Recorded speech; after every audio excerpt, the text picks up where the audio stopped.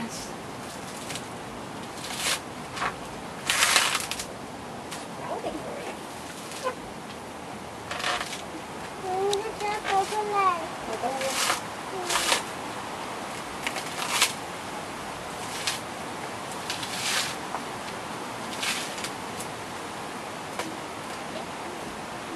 Back then what we use the coconut husk for is scrubber. But if we're gonna use wash the dishes, we get out the soft part. I will scrub the dishes. Then the other parts, what we do is we light it for mosquito repellent. Okay. Okay?